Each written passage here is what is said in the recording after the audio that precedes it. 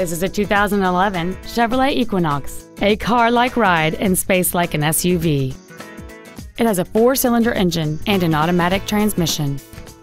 Its top features include satellite radio, aluminum wheels, and traction control and stability control systems.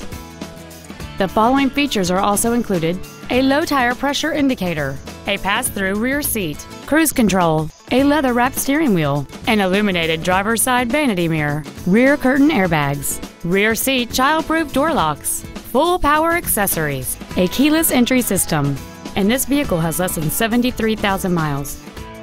This vehicle won't last long at this price. Call and arrange a test drive now.